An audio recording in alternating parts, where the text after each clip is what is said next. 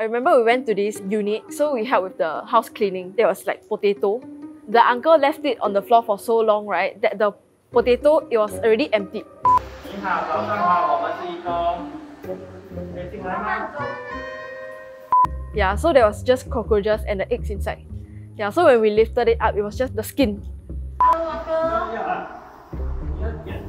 啊，帮你动你的鼻子。 So when we step inside, However, the camps on you has six legs I can fly. Whoa, you can see like all the cockroaches just started like everywhere. There was something like like, oh, yeah. We got put in by Fion because you don't dare, but you dare make the cockroach everywhere flying around, you know. Then we got pushed in. we we're like, no, no, no. Hi, I'm King Guan. I'm 19 years old. I'm waiting to go for enlistment. Hello, my name is Wen Xian. I'm currently 19, waiting for university to start. And we are from Keeping Hope Alive as youth volunteers. Yes, we've been doing this for a few years now actually. About three plus to four years.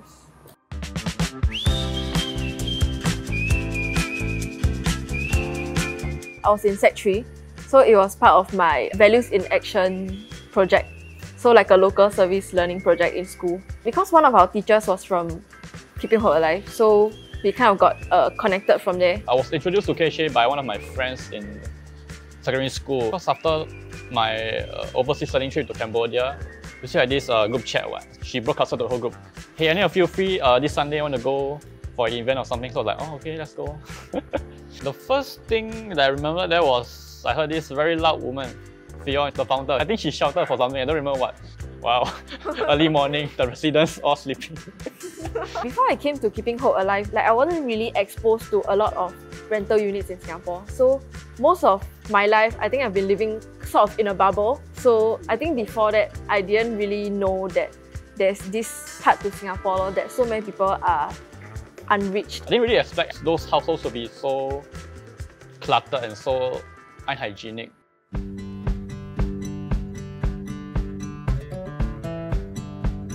There was this unit, so you actually cannot tell that it's a pest infested unit.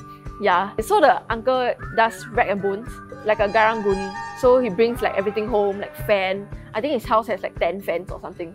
Before you step into the house, you can smell something, something very off-putting. But once you know you clean the house, you know it's the smell of cockroaches. The entire of the house is filled with plastic bags. Inside those plastic bags, you don't, don't know what's inside. Could be dead cockroaches, those eggs, anything. Then the person was stuck until, until the ceiling or something. It was oh, it was overwhelming. From the first furniture we started moving out, right? Whoa, you can see like all the cockroaches just started like everywhere. And then there's rats. So I think from that unit we got about 14 rats that day. I, I caught like three or four of the rats you know, using the net. yeah, I was like, uh, only rats. Uh, I'm, I'm, okay with rats, but cockroach cannot. eh. Actually quite cute. I got photo with them.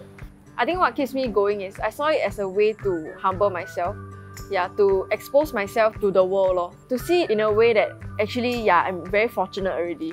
And I think seeing how the whole thing came together, like to clean up, to sort, yeah, and the uncle has a clean bed to actually sit on. Seeing him sit on the clean mattress, wow, I think that was like, 值得. Like, oh, it's, it's like all worth it lah. Yeah.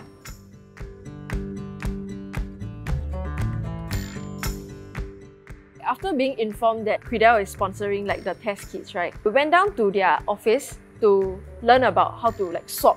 When we learn is actually to learn about some things we can take note for. Tips like, you know, they sayang them on their head so that they feel more assured. I think why we decided to target on people with mobility issues is to actually realize that these people, they are not exactly mobile to move outwards to get themselves checked or like it's not very convenient for them to to move out of their units, especially if they are living alone and like there's nobody helping them.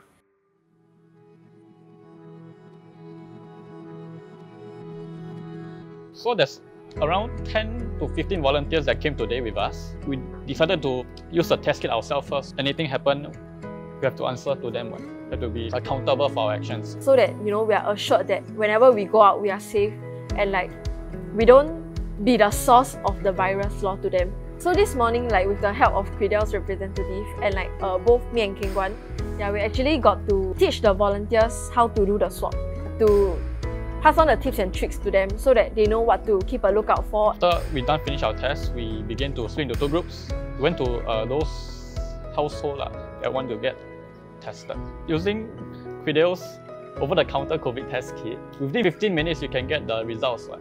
Honestly, it wasn't tough lah.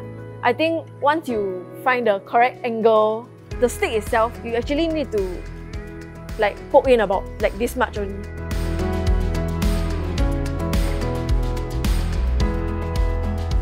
After coming to KHA, like being able to experience what it's like to be on the ground, to see like the lives of the people and like what they are going through, exposed me to a lot more like situations that I probably wouldn't have encountered if I wasn't here.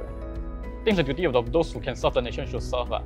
Could be any number of ways. So for us, Keeping Hope Alive, we go door to door to clean those houses, give out stuff, and offer them if they want to change their lives or anything. So I think it's a way to contribute back to society by investing our time and energy by doing good.